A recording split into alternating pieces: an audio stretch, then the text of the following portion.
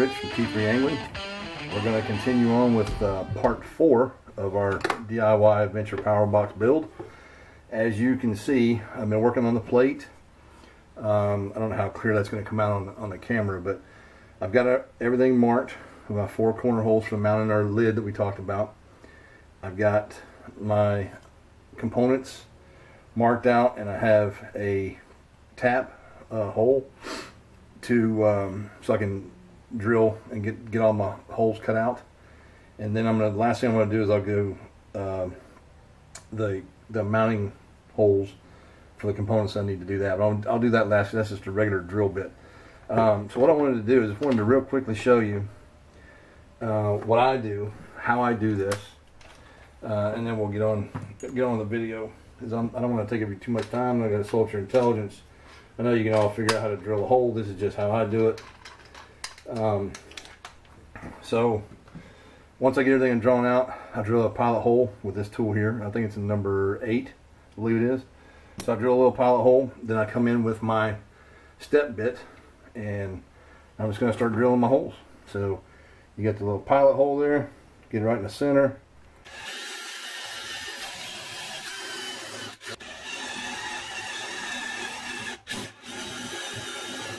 and just take your time, get your stuff off so you can keep out the, the outer edge of your hole.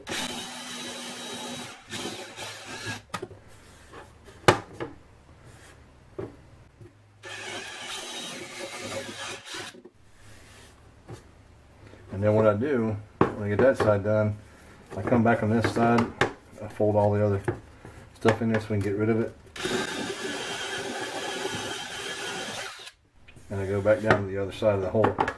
So what that do will give me a nice clean smooth cut.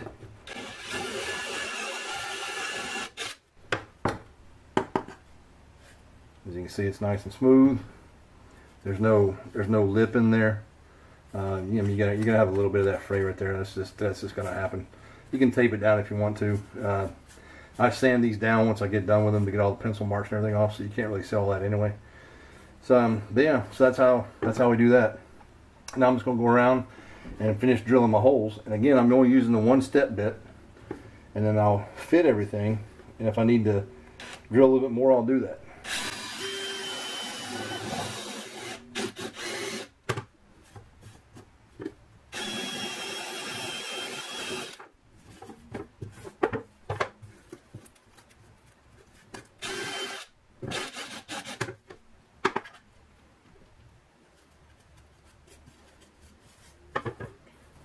Then I'll do a, a smaller one here. Now remember this is a, these small ones here for our plate. So we're gonna go bigger than the hole on the plate because we want the switch to go all the way through the hole so these little tabs can grab onto our plate and not the wood.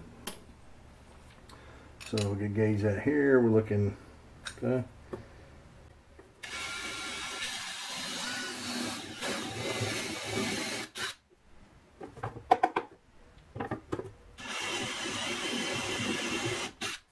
Again, just kind of take your time, eyeball it as you go, and then that way, once you get a mark for where you're going on your step bit, then the other ones go faster. And then what I do is I test these to see how much I need to go. So I need to go a little bit more on that one. You don't want to make them too big.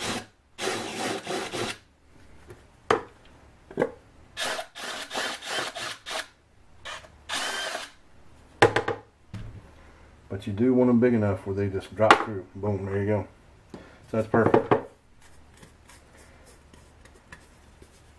So we're just going to keep drilling those out. So now I've got one about the size that I want it. So now I can just, I can put my step bit in there and I can see where I'm at. So if I'm looking, there's like one, two, there's like two steps in between that. I'm right about the second one there. So I'll just do that. Long as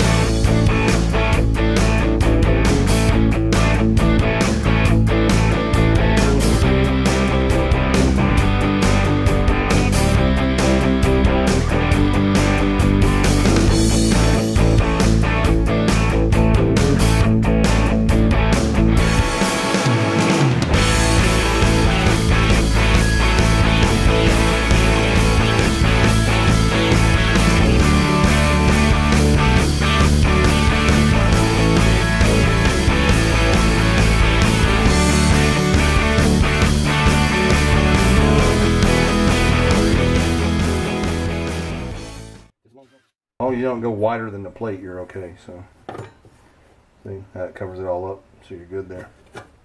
Now, I'm gonna make sure it drops through all of them. That one's good, good. Try to get my hand out of the way so that one's good.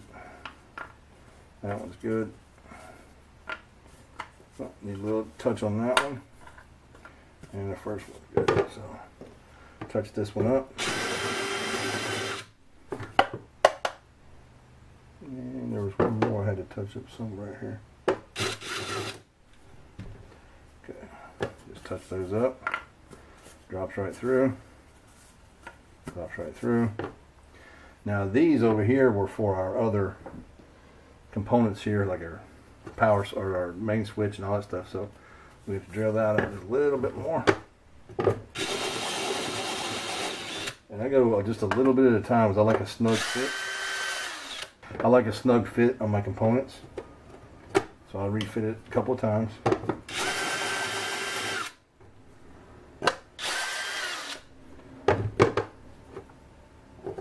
Boom, it slides right in. Perfect. So now you're going to have a main switch there, so we need to do these two. Uh, because this one down here is actually going to be for that, but the circumference is the same with the power, uh, ma uh, master switch.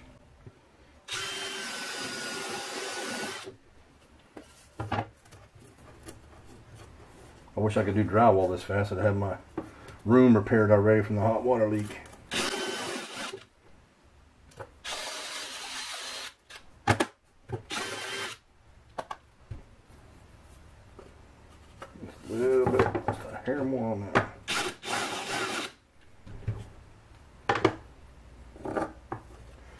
Perfect.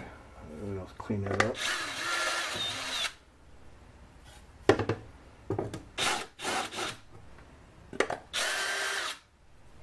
There we go. Now it's cleaned up. Good. Good.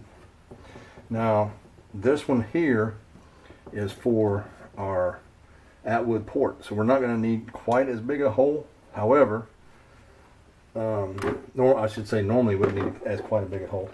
But we are going to use one of these. Um, so we have to get the circumference of that because we're going to use a, a cap in place. So it is going to be a regular full-size hole.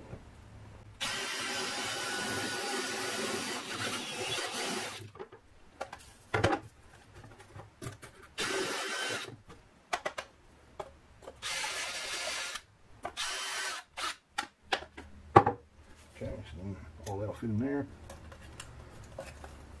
We know that'll fit, right?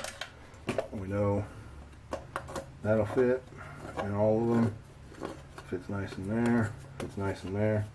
And then our glow cup on the other side, um, this is for our glow cup, right? We don't necessarily need it anything to fit down there because you got the two plates, so it's gonna one's gonna bolt to this side and this side, and you don't have an actual component sitting down in there. Now, the last one we got to do is for our um, wire gland. This one looks off a little bit, but it's because of the frame of the outside of the glow hole. So it is going to look like it's sitting that way a little bit, but I'm going to adjust it just a touch, but it's not going to matter.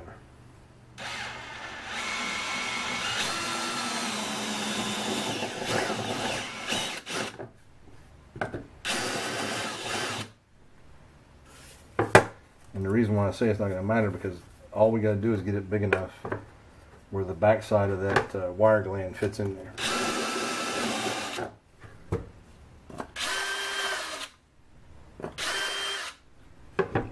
Alright, so that's going to go here. Okay,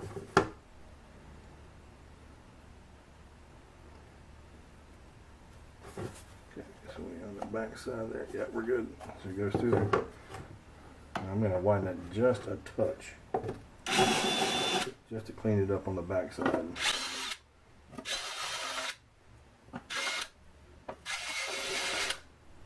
I think that, that'll do it good. Yep, perfect. Okay. So that's how we make our plate. Now, we're going to switch bits here. And all we're going to do is drill our holes for our hardware, our mounting hardware. Alright. So let's get this one on here first.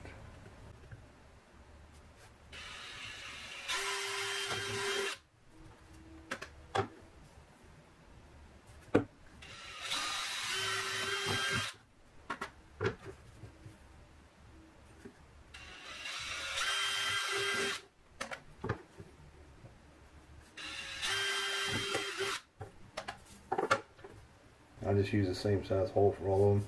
They're all going to tighten up the nuts to the back, so it's not going to make a big difference.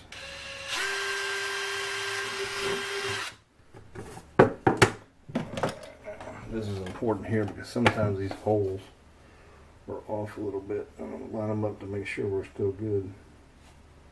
Yep. Okay.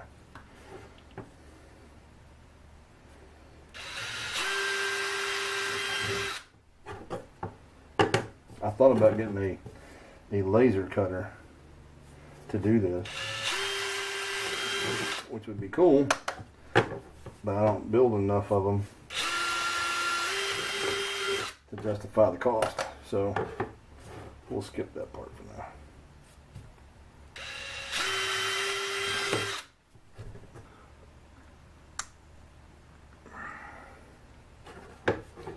Everything's looking good.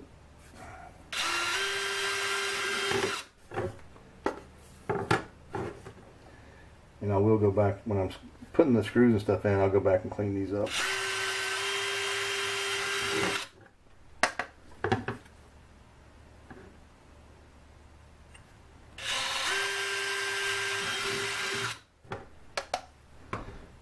Okay.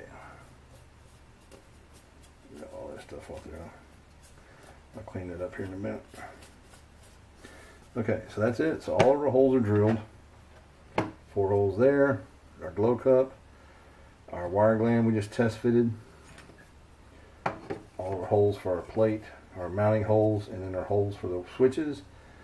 Our quick charge USB. Our port here which is not going to be that side, but on the other side, and then uh, the master switch. So this will actually go up like that, and it'll stick out about that far, and then our master switch is right there, just like that. So I'm going to get all this stuff bolted down, get this board cleaned up, and uh, we'll be right back with you.